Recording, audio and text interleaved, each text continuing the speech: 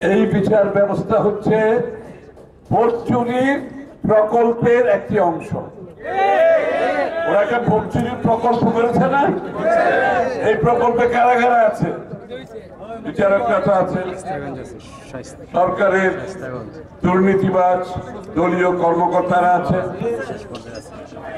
আইন শৃঙ্খলা বাহিনীর একটি অংশ আছে, লুটেরা ব্যবসায়ীরা আছে, দুর্বৃত্ত রাজনীতিবিদরা আছে। সবাই মিলে ভোট চুরির একটা প্রকল্প করেছে।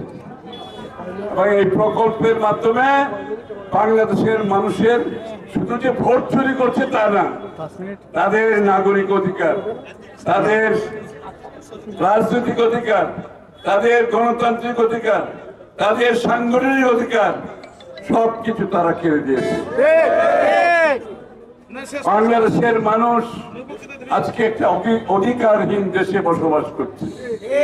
মানুষের জীবনের নিরাপত্তা নাই, গণমাধ্যমের স্বাধীনতা নাই, ভোটাধিকার নাই, মানবাধিকার নাই, বাক স্বাধীনতা নাই। কথা বললেই ডিজিটাল সিকিউরিটি অ্যাক্ট এখন হচ্ছে সাইবার সিকিউরিটি অ্যাক্ট কথা বললেই মামলা, জেল একটা ভয়ভীতির পরিবেশ সৃষ্টি করেছে না?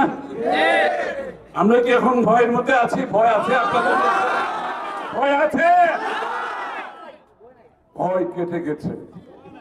সবকিছুর একটা সময়সীমা আছে। ভয় ভীতি গুণ খুম, হত্যা, মিথ্যা মামলা, গায়েবী মামলা। মাধ্যমে কিছুদিন চলা যায়। সব সময় চলা যায় না। এই সময় পার হয়ে গেছে। লক্ষ জনতা আজকে রাস্তায় নেমেছে। আমাদের প্রত্যেকটি কর্মসূচিতে লক্ষ লক্ষ মানুষের জমায়েত হচ্ছে। সব বাধা বিপত্তি উপেক্ষা করে জমায়েত হচ্ছে। আওয়ামী লীগের, আমি তো আওয়ামী লীগ বলি একটা কারণে।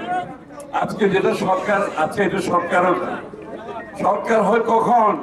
একটা নির্বাচিত হলে সরকার হয়।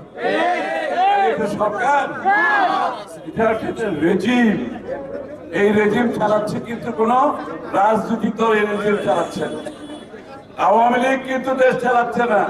এই যাদের কথা বললাম একটু আগে, এরাই বাংলাদেশ চালাচ্ছে। সুতরাং বাংলাদেশের মানুষের বিরুদ্ধে যারা অবস্থান করছে, এটা আওয়ামী লীগ তার একটি অংশ। আর বাকিরা হচ্ছে লুটেরা ব্যবসায়ী, সরকারের দুর্নীতিবাজ কর্মকর্তা, দলীয় বিচারক এবং আইন শৃঙ্খলা বাহিনীর কিছু দলীয় লোকজন।